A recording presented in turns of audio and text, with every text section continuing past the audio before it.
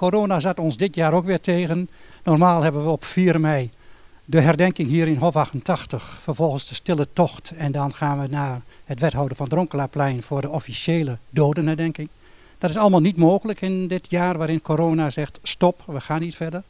Maar we hebben natuurlijk weer een oplossing gevonden om uh, toch op een waardige manier de 4 mei herdenking te kunnen invullen. Avisie heeft daarvoor uh, opname gemaakt van een stuk muziek, een gesprekje met de burgemeester. En we hebben zoals elk jaar de gedichtenwedstrijd onder de scholen voor voortgezet en beroepsonderwijs gehad. De jury is gisteren bij elkaar geweest. Suze, Suzanne Kroijmans, Kirsten Rozema en Ellen Lamberts en ondergetekende. En we hebben uit de ingezonden gedichten er twee gekozen. Eén vanuit de hoek van het VMBO en één vanuit de hoek van het VWO. En die prijswinnaars, dat is vanuit het VMBO van het Zonnecollege Lotte. En dat is vanuit het uh, Noordik.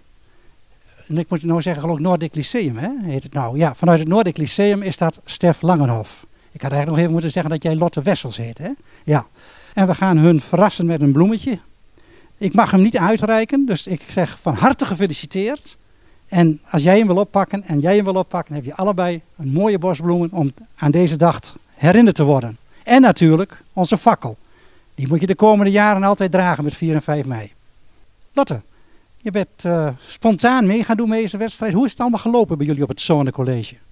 Ja, we gingen zeg maar allemaal, de hele klas, gingen we gedichten schrijven en maken. En dan uh, koos onze docent koos dan uh, de paar winnaars. En die werden dan opgestuurd. Dus, ja. En toen vond de jury vanuit jouw hoek jouw gedicht het mooiste. Ja, dat vond ik wel heel raar eigenlijk, want ik had helemaal niet gedacht. Dus ja.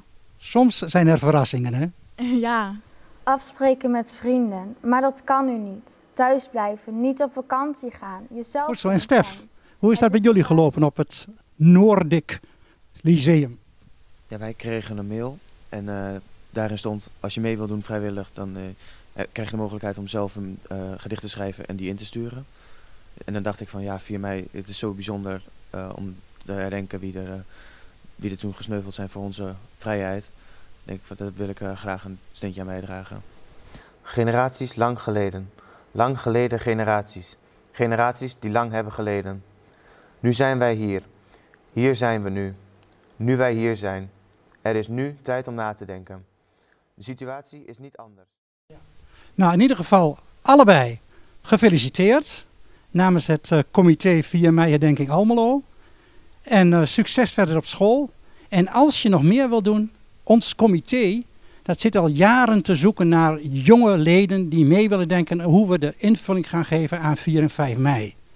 Dus als je zegt, dat lijkt me wel leuk, meld je bij ons aan. En dat geldt ook voor mensen die thuis kijken. Wij willen graag dat ons comité, wat nu allemaal uit grijze mensen bestaat, wordt aangevuld met jonge mensen, zodat we ook in de toekomst de bevrijding, het vrijheidsviering, dat we die met jonge mensen kunnen invullen.